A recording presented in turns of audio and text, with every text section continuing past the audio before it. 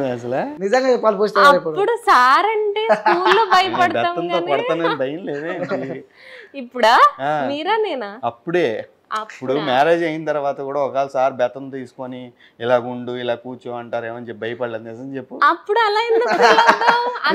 Control లో ఉంటది కాబట్టి అప్పుడు సార్ అయినా ఎవరైనా ఇంకా అంతేగా? అంతేగా అలా అంతే అండి. అప్పుడైతే నేను భయపడలేదు. హ్యాపీ ఫీల్ అయ్యాను చాలా. అది నా ఒపీనియన్ లేండి. అలాగా. ఏంటి? ఏంటి? బయట తీసుకొద్దాం అని చెప్పి అలా అడిగాను. సో నిజంగా భయం లేదు మీకైతే. నాకైతే. ఇప్పుడైతే అసలు తనే భయం నన్ను లేదు. భయపెడుతుందండి ఇప్పుడు. ఇది కూడా నిజం కాదండి.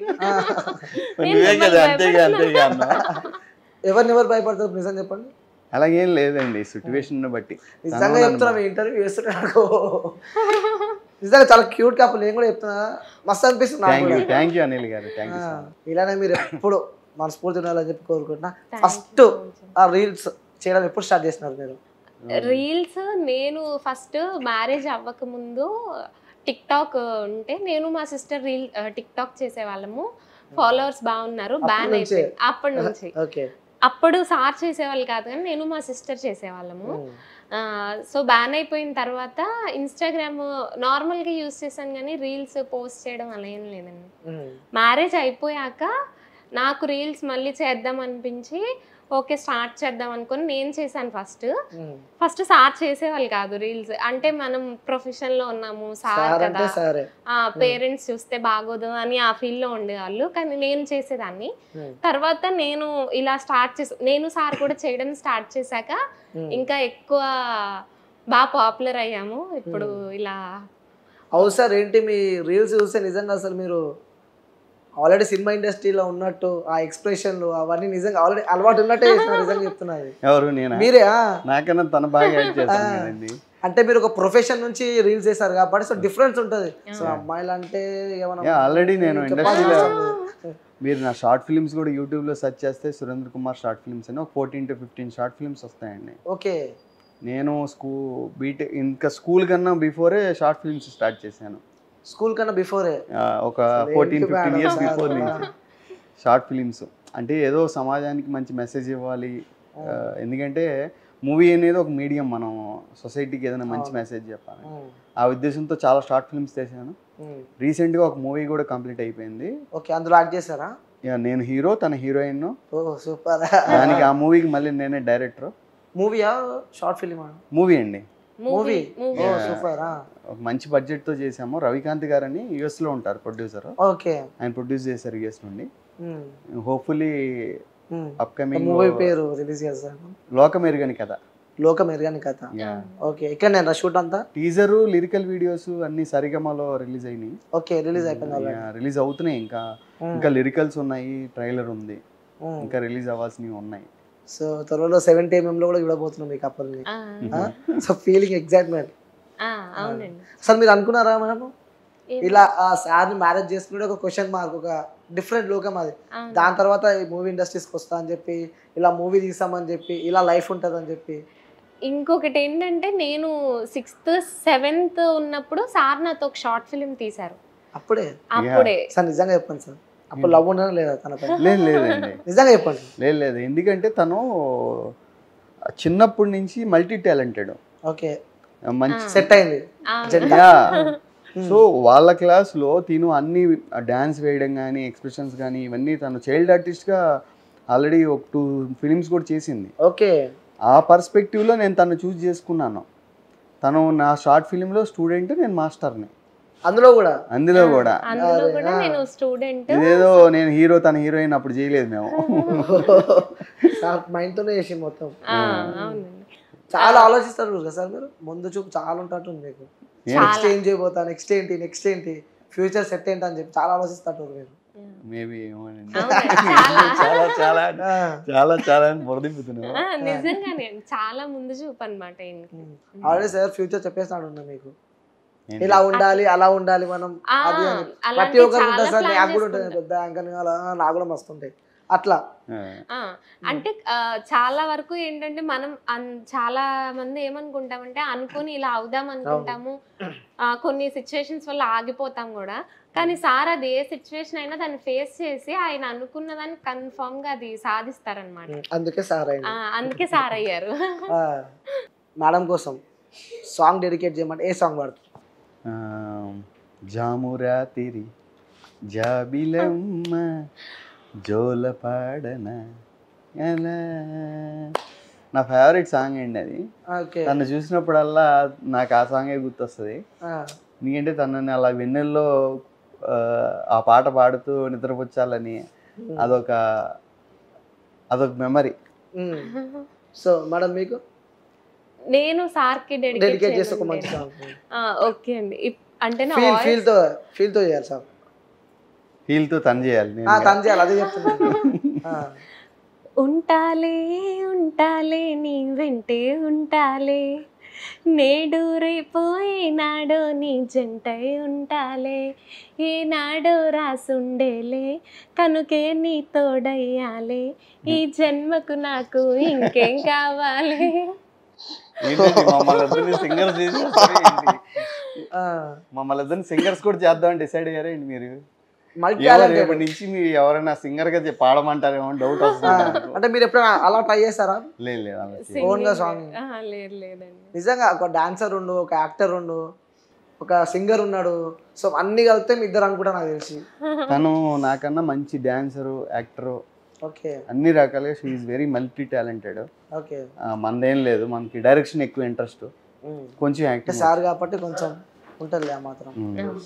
లాస్ట్కి ఇప్పుడు వచ్చే మూవీలో కూడా హీరోయిన్ సార్ స్టూడెంటా లేకుంటే heroine hero hero heroine heroine last conclusion ఇచ్చేసారు అయితే. ఆ, ఆ.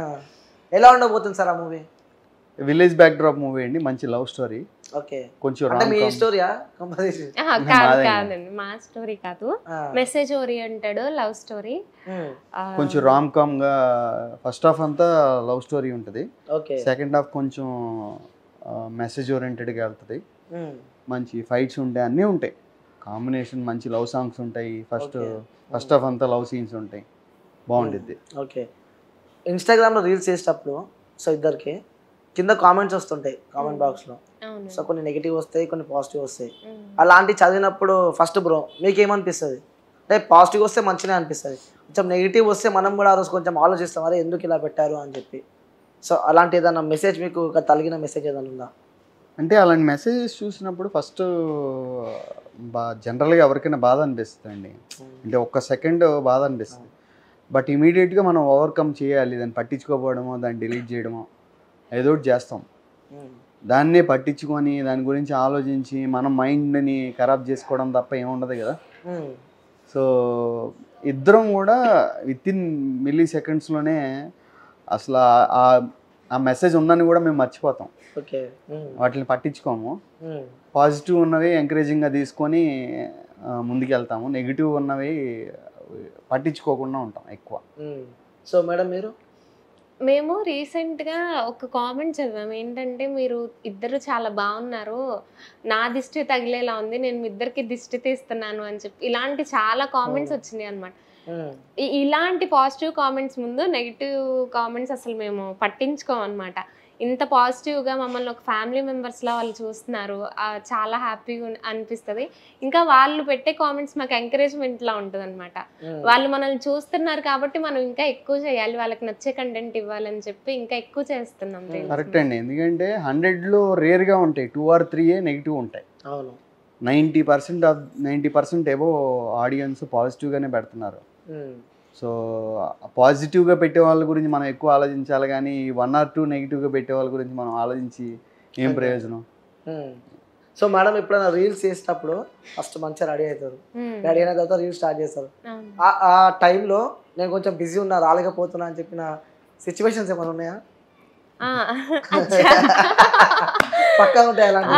ఆయన ఎక్కువ స్కూల్లో ఉంటారు.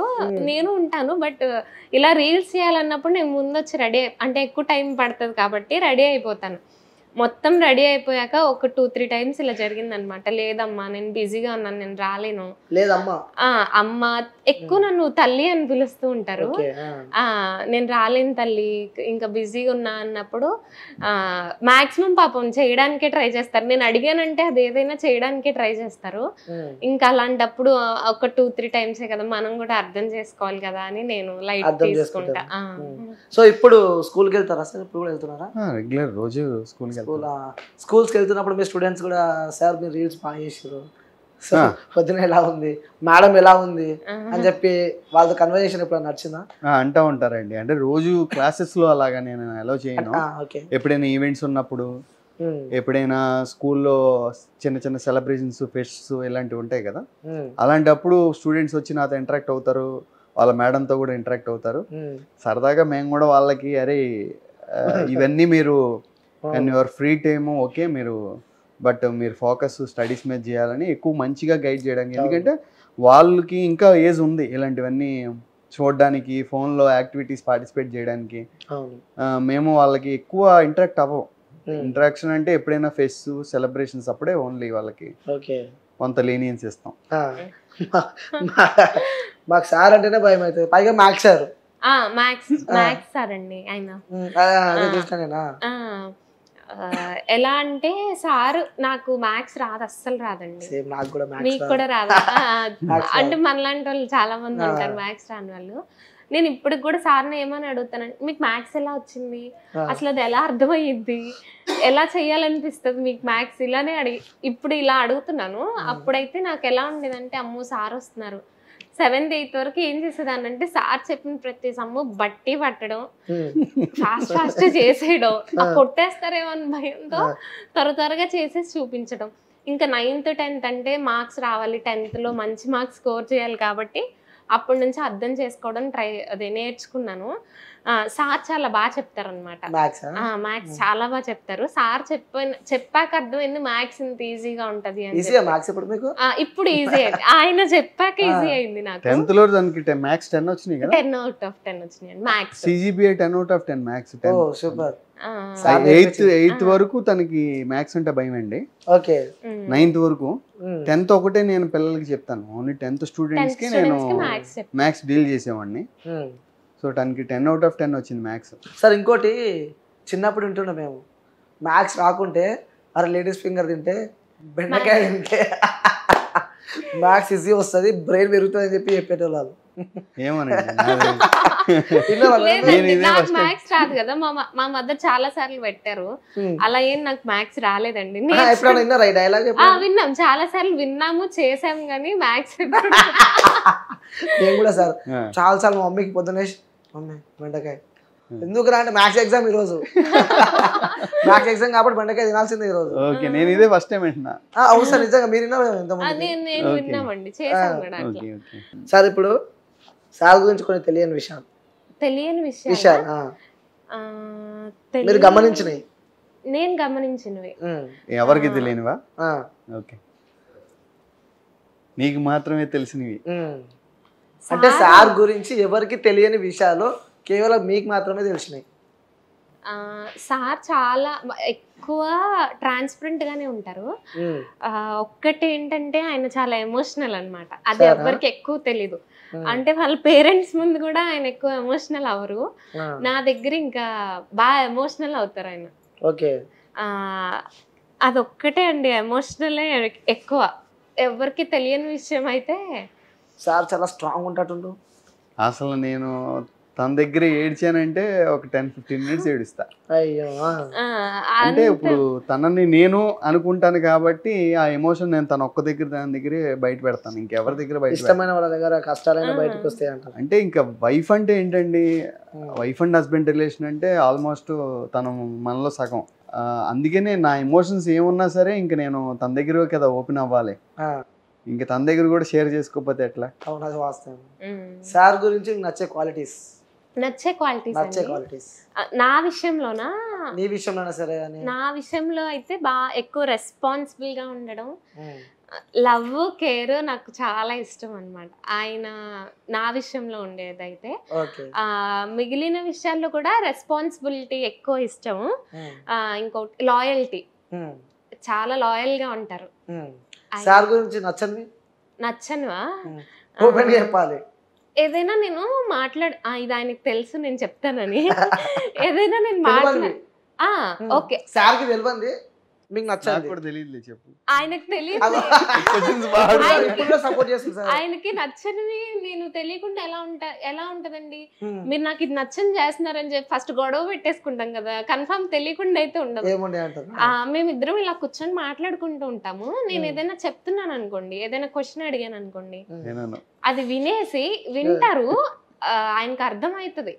ఏదో ఆలోచించుకుంటూ ఒక గంట తర్వాత దానికి రిప్లై ఇస్తారనమాట మస్తు బాధ అనిపిస్తుంది అసలు నాకైతే స్టార్టింగ్లో అర్థమయ్యేది కదా. ఒక. ఫైవ్ మినిట్స్ ఆహా ఈయన అర్థం చేసుకున్నారా? ఏంటి? అని చెప్పి ఇలా నేను చూస్తా ఉండేదాన్ని. ఆయన ఆన్సర్ ఎప్పుడు చెప్తారా అని. ఆన్సర్ చెప్పరేంటి చెప్పరేంటి? అంటే "ఆ, ఏదో ఆలోచిస్తున్నాను అని చెప్పేవాళ్ళు. ఇంక ఇప్పుడు నాకు అలవాటు అయిపోయింది ఏంటంటే నేను అడిగేసి నేను వదిలేస్తా. ఒక వన్ అవర్ తర్వాత ఆయన వచ్చి ఆన్సర్ చెప్పాక ఆహా ఓకే. ఓకే. అలా అలవాటు అయిపోయింది ఇంకా. అలవాటు అయిపోయింది అంటే నలుగురు నేను ఎవరిలో ఉన్నా కానీ ఎక్కడో ఆలోచిస్తానండి. ఎక్కడున్నా కానీ ఇప్పుడు తనతో ఉన్నా కానీ మళ్ళీ కూర్చొని తనతో. మాట్లాడుతూనే ఇంకో చోట ఆలోచించేస్తా ఉంటా. దానివల్ల అది వాంటెడ్లీ చేయము. సో సార్ మీకు మేడం గురించి కొన్ని నచ్చని విషయాలు. వెయిటింగ్ నచ్చంది ఉండిద్ది ఉండిద్ది నచ్చనవి ఏమీ లేవండి. తన మీద నాకు నచ్చని విషయాలు పెద్దగా ఏమీ లేవు.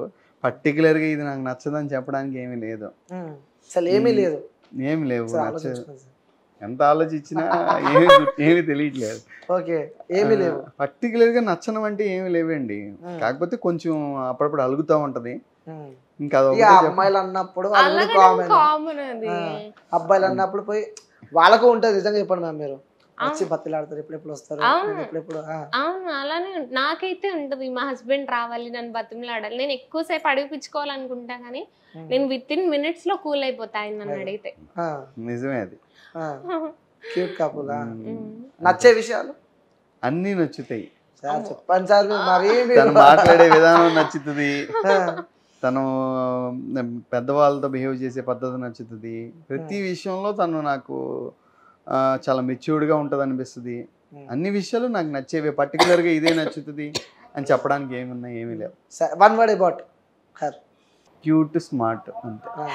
Cute smart. Okay so madam మీరు one word about her my everything అండి. ఇట్లా వేసుకోవాలి కదా.